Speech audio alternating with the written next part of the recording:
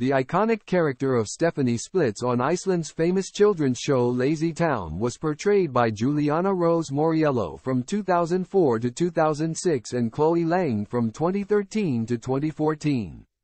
Chloe spoke about how she was finally reunited with fellow child star Julianna under sad circumstances in an exclusive interview with Express.co.uk.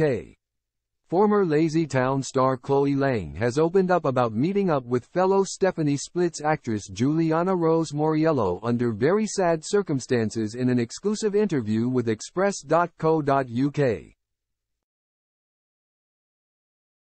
The 21-year-old actress opened up about reuniting with her fellow child stars shortly before the death of their beloved co-star Stefan Karl Stefansson, who played Robbie Rotten on the show.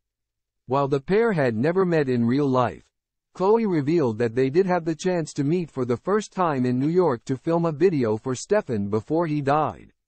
The Icelandic actor, who played the show's legendary villain between 2004 and 2014, tragically died from cancer at the age of 43.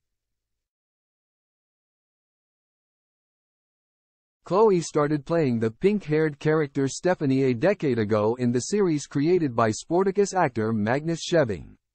Before her era of Lazy Town began in 2013, Julianna landed the role for the first two series from 2004 to 2006.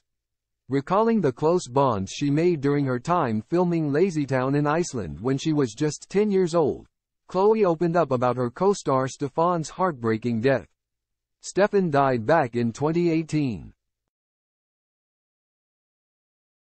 Which was just four years after the series came to an end. It all happened really, really fast, Chloe said. It was not too long after finishing filming. And it was just a shock. He was such a good person with the best energy to have on set, she continued. He knew how to make anyone laugh and he just made anyone smile anytime he walked into a room.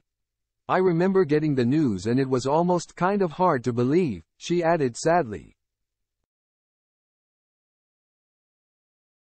And fortunately, I was able to see him after that news, and before he passed away and see his family.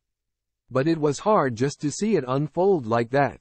I mean, it's not fair. But I am happy that, you know, I got to know him, got to work with him, for as long as I did and make that connection with his family. Asked if she had been given the chance to meet original Stephanie actress Julianna in real life, Chloe confirmed that they had been brought together by Stefan's illness. Once before, Chloe reflected. She was New York based at the time, so we met up there and we made a video for Stefan. That was the first and last time we met up, but it was really surreal and also very cool. We both were like, I mean, it was under sad circumstances. So it was a little kind of, not awkward, but emotional. But yeah, it was really cool to meet each other. We were both like, whoa, this is amazing.